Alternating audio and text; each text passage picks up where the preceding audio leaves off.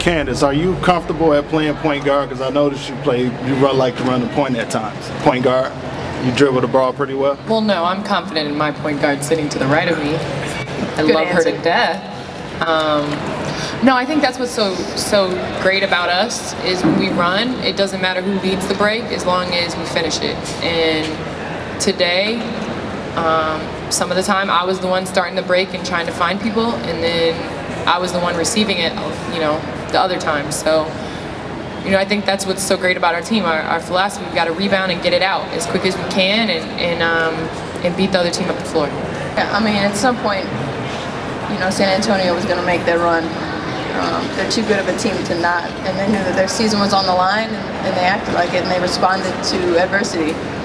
Um, and we did the same thing right back. You know, we didn't fold. Um, we didn't get too down on ourselves. Um, we had to just keep reminding ourselves that we still had the lead, even you know, even though we were struggling, even though they were making their their threes and getting the transition buckets, getting to the free throw line. Um, we had to stay focused and stay together um, and just face it. And I think it was a good challenge for us, especially go, continuing going on in the conference finals.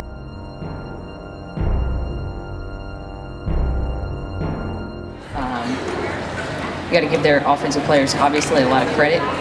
Um, Candace Parker, when she puts on that hat and she's dropping threes, she is, I don't know anybody more difficult to guard in our league. Um, at 6'4", with the vision and the moves with the left and the right. Um, her and Sophia, was fun to watch them battle because Sophia put on a hell of a show too. So, heck of a show.